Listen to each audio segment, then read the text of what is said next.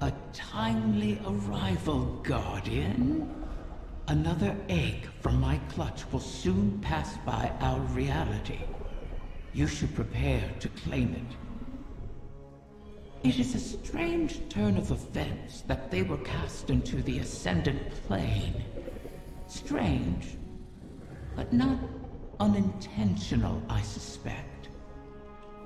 Ask yourself, who would benefit from such a situation? Who wields the requisite mastery over the ley lines?